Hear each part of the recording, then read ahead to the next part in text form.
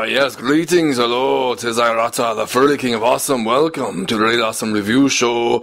We're wrapping up the year 2017 in movies, a great year. This is kind of a precursor to our awesome top 20 movies of 2017. We're going to be doing the honorable mentions, the almost awesome movies. These are all rated excellent. Four stars out of our six star rating, as you can see over they are. Alright, so we're kicking it off here. You know, generally these are in order.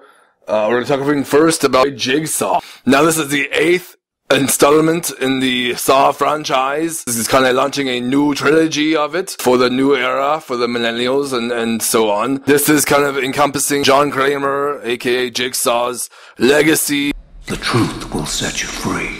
This one has new team ups and members to help him uh, because you know he's been dead. Spoiler alert for a long time now, and this is trying to say like how could this murder still be happening when he's been dead for so long? Uh, we thought it was a pretty cool uh, you know experiment. Uh, had a lot less gore than other ones, which we really liked. Had a really cool story, some good twists. This is brought to you by the Spierig Brothers. Uh, so a little bit different uh, directing and writing style this time around. Definitely worth watching for Saw fans. And if you've never given uh, the Saw franchise a shot, you might want to give one this time to Jigsaw.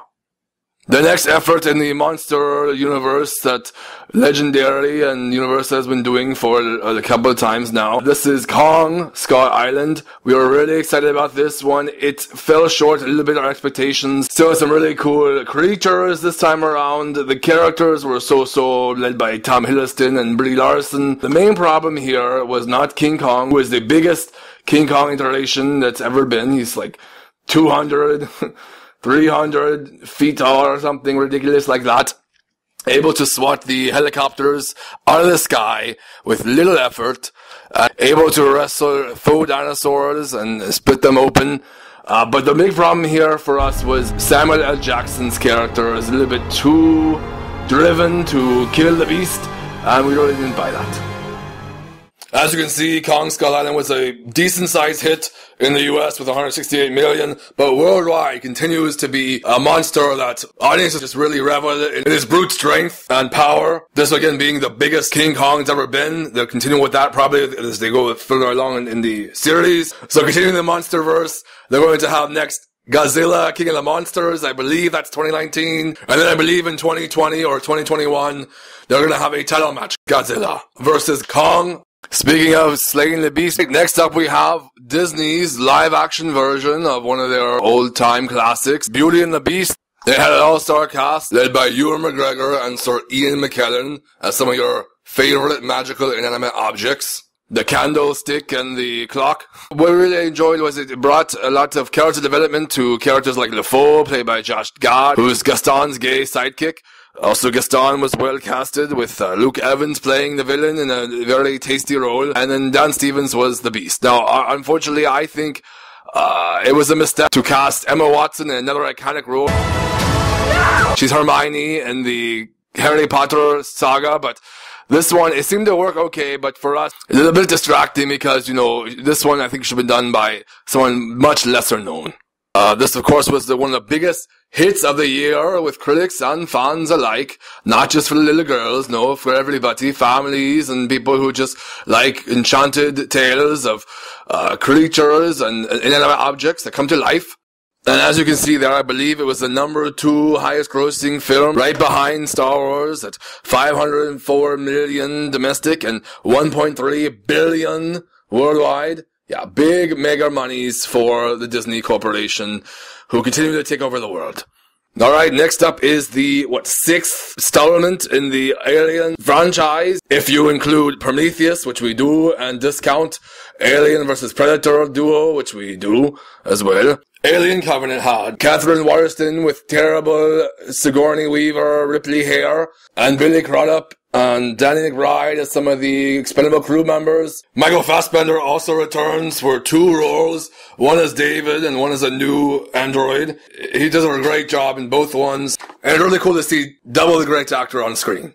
Director Ridley Scott is back again to continue what he did in Prometheus in some ways. Other ways, he discounts it, throws all the questions you had out, but has some cool alien uh, action scenes. Uh, lots of people doing dumb things all the time. These brilliant scientists making terrible, terrible decisions that ultimately get them killed.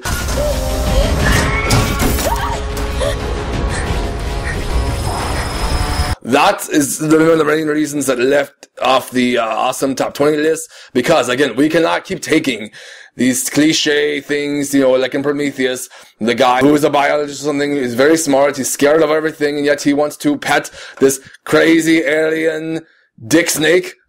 and that doesn't make any sense. Alright, so no. It was a modest hit, and they'll continue to make these until they get to the Alien timeline, which I believe Ridley Scott said in about two more movies. We're looking forward to more, but please, enough of the stupidity. Alright, now you might think this may be higher on our list. We thought maybe as well, also with the, the amazing talent of director Christopher Nolan, definitely one of our favorite directors of all time, behind, of course, David Fincher and Steven Spielberg. You know, he's up there, definitely way, way up there. Christopher Nolan always brings his A game. He's a master of storytelling and directing. Uh, and also writing. He writes a lot of stuff with his younger brother, Jonathan Nolan. He's here with a World War II epic, uh, with no character development, but uh, still a lot of heart and really cool tracking shots. Yes, that's one of the main problems Dunkirk has. The characters just didn't click with us. Okay, yeah, we have a couple of people that we like. The young guy, then we have the pilot played by Tom Hardy. Okay, that's pretty cool, but we don't really get to hear much about them. There's very little dialogue. We really didn't think it would work all the way. There are plenty of really cool action sequences and well done. This is definitely kind of a, one of the better war movies up there with Saving Private Ryan. But again, for us, we wanted a little bit more, uh, background on the, this whole, it's basically a rescue attempt. Mark Rylance, uh, is one of the characters basically from a real life perspective. The British people brought a lot of their own boats to rescue the soldiers who are pinned down by the enemy.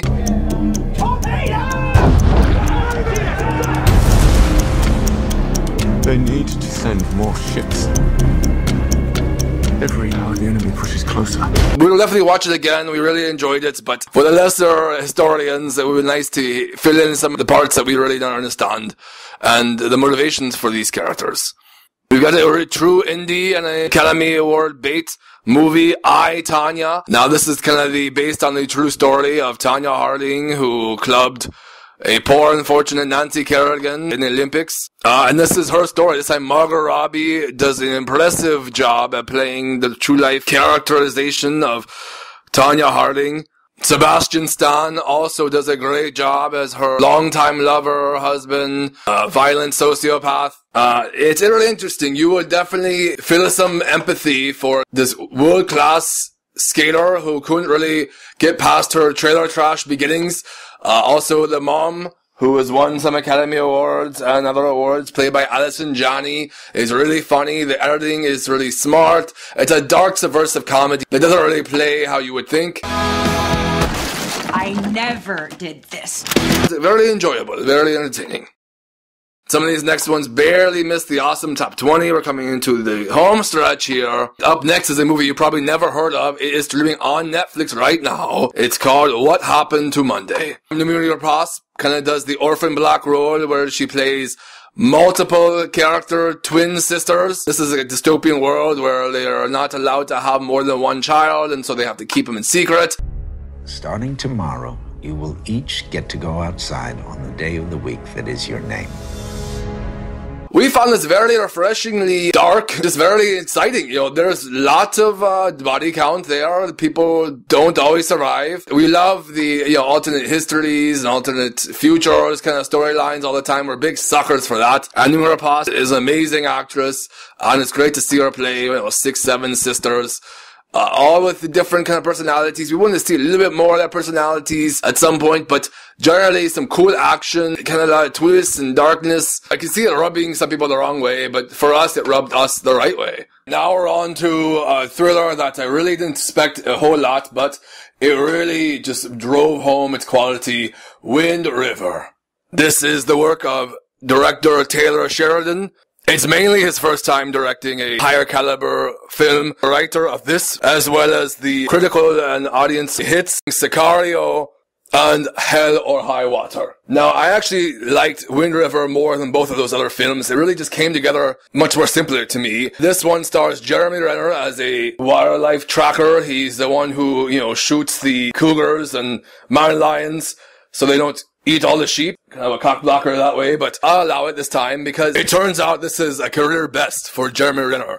He really displays a, a wealth of emotions, of sadness and triumph and determination because of his dirty backstory. I won't go into it too much, but it, it hits home. This young Native American girl dying under suspicious circumstances. How do you gauge someone's will to live? Especially in these conditions. But I knew that girl. She's a fighter.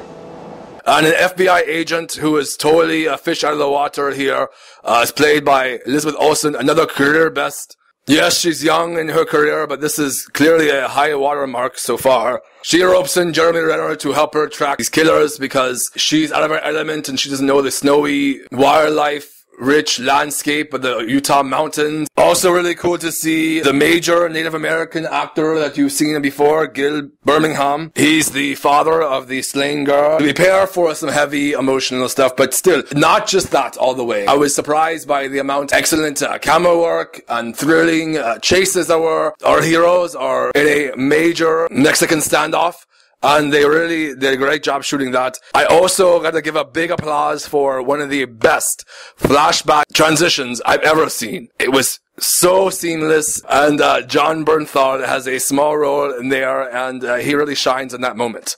Yeah, so it was really nice to see this kind of unseen part of America, the Utah, Wyoming area that not a lot of people get to see.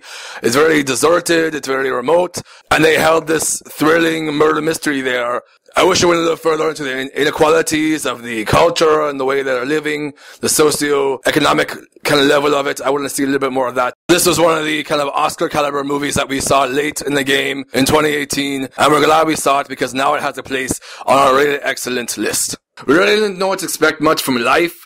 It had a great cast, of course, Ryan Reynolds and Jake Gyllenhaal, the Asian guy from Lost and some others. Rebecca Ferguson also did a great job here as one of the leads astronauts. This is the first capsule ever to come back from the planet. We have visual confirmation. I see it. This could be a major scientific breakthrough. Come on, come on, come on, come on, come on, come on, come on, come on, It's gonna be a big custody battle over this one. It was basically kind of like Alien, basically played out the same way.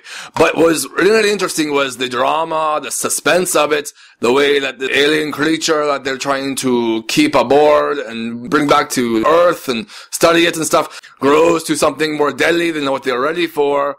Rhett Reese and Paul Wernick, who of course, wrote Zombieland, uh, wrote this also. We're really big fans of their work. They always kind of bring us something a little bit different to a different genre and uh, very versatile. So in general, I really liked this movie. I thought it was really suspenseful and, and terrifying and done the right way. But there's one thing that really burned my fur. Now, throughout the entire movie, for a really innocuous reason, they name the alien Calvin. That's a little bit of a spoiler alert, but it doesn't really matter. They name it because some kids said, hey, name the alien after elementary school, Calvin Elementary or middle school or whatever. It doesn't matter. But they continue to call it Calvin, not the crazy alien or the monster. Or so that kind of knocks the alien's menacing level down a peg. And it was just super annoying and really stupid. It, kind of put a, damper, a dark cloud over the enjoyment of this movie. Because sure, we can give the benefit of the doubt sometimes, but this kind of was a piece of zebra meat stuck in my craw. We just thought it was very thrilling and compelling the whole way. It was a smarter version of Alien. Alright, up next is a, a big bomb of the year. People didn't like it a lot. We thought it was pretty cool and creative. Valerian and the City of a Thousand Planets. That right there alone, the title, is going to get some interest from us. Okay, we're huge sci-fi fans. This time, Dane DeHaan in a horribly miscast role in one of the lower parts of the movie. Even though we like him as an actor, not good in this kind of Keanu Reeves, whoa, role. Look, scored a perfect 200 on my last memory test. Impressive. The real breakthrough here was model turned actress who's getting better and better and does the best work here, Cara Delevingne. She was also in Suicide Squad you saw a couple years back. This time she gets to play full lead with Dane DeHaan. Clive Owen also is in a little bit, Rihanna, you know. But the big draw, this is directed by Luc Besson. It's very much in the same style of his uh, past Fifth Element. It's a CGI fuckfest for sure. So that might be some problems for some people. Crazy characters, crazy creatures, we wanted to know a little bit more about the world of the city of a thousand planets. I thought that part was a little bit left off. Generally, it's still lots of fun, a lot of great uh, adventure to be had. It's a, definitely a cool thriller, uh, mystery aspect too. I know it lost some people because the French style is a little bit eccentric sometimes. Luc Besson can go a little bit wild, but we thought it was definitely fun and entertaining and worth their time watching. All right, well, thank you so much for watching this pre-text to our awesome top 20 movies of 2017. Please join us here on Instagram and YouTube for weekly unveilings of those movies. We know you want the quick ones with the quick video and the full-on reviews of the movies. So we're going to be doing the, you know, two, three, four minute reviews with the clips of one movie each time. So thank you so much for joining us. Let us know what other ones you think uh, should make the list. Will Justice League or Wonder Woman or It or Get Out or Baby Driver, or some of the other great movies that came out this year be on the list? Uh, stay with us to find out. We'll see. Now, go forth and be awesome!